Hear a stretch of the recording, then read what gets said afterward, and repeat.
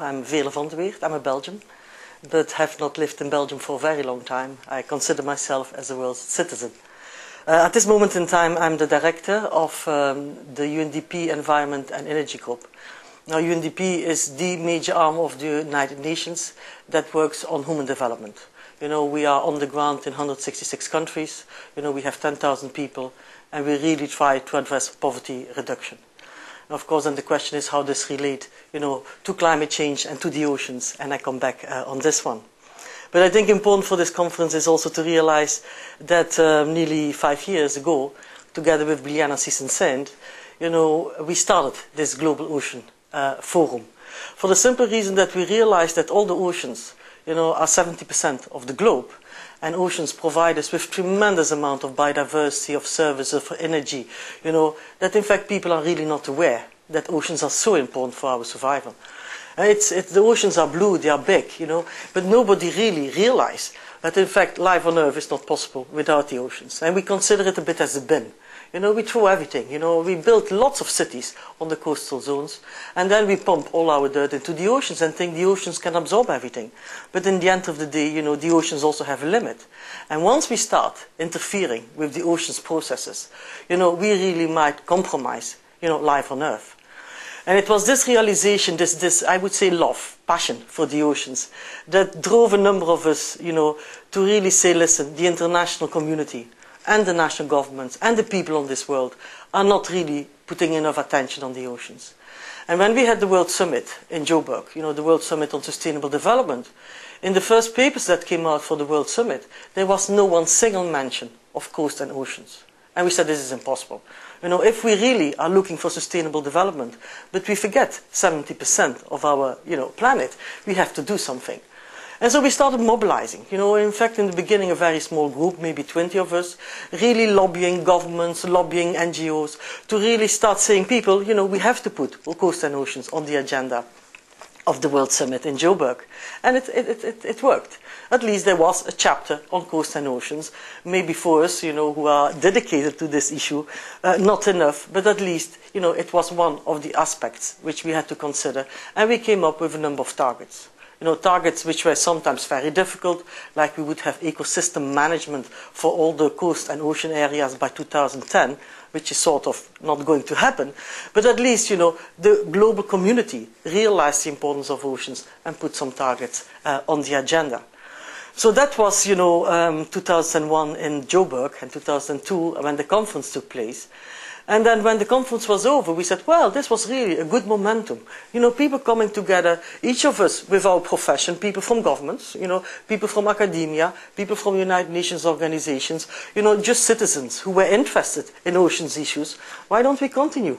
You know, why don't we really stay together, work together, and every single um, opportunity there is, try to bring the coast and oceans issue to the attention of the world public and our leaders.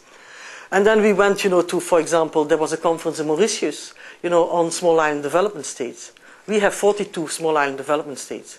And in fact, we call them small island development states, but they are in fact large ocean states. You know, they, these people really are the governance of large parts of our planet. And we really also worked with the small island development states to bring their plea, you know, to the attention of the world community.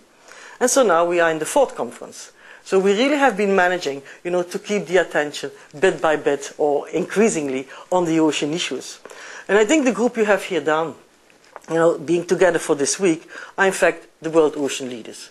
You know, we are a very small community. Uh, strangely, because if you, for example, look at the freshwater issues, you know, the freshwater issues receive a lot of attention. Because, of course, we all know we need water for drinking, we need water for agriculture, you know, we need water for living. But of course, water at the end of the day, you know, is very closely linked to the oceans because you know, there is the whole uh, hydrological cycle. And the, the group of people in the world who are working on freshwater is tremendous, big. You know, here we have 400 people, and I can tell you, most of the people who are really active in the field of oceans are here. What we are trying to do here is, in fact, first of all, keep the momentum, you know, raise the issues which are related to oceans. And therefore this conference is rather broad.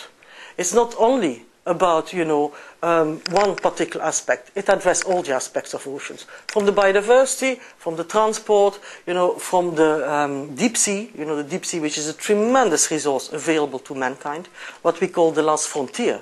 We don't really know what's happening in the deep sea.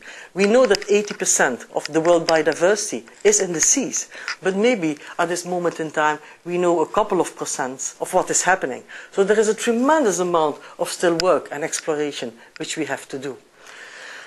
Particularly for this conference, and why I, am positive, you know, because if you work for 20 years for the environment, sometimes you lose, you know, uh, faith that still something is going to happen.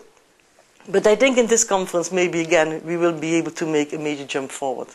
And the reason is that, luckily, climate change is getting the world attention. You know, of course, climate change, you know, is with us already for many, many uh, years. We have the IPCC reports. You know, now we have the fourth IPCC report.